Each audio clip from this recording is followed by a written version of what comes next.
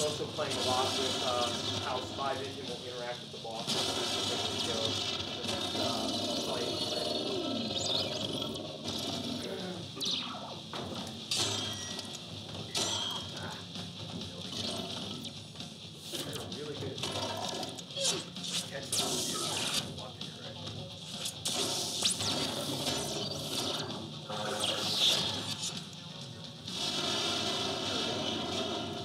Thank uh, you.